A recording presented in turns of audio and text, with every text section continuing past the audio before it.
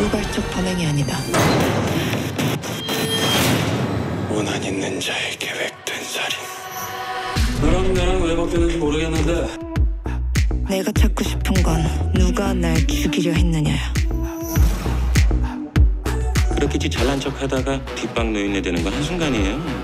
걔가 살아서 돌아오면 당신도 나도 끝인 거야. 나오나?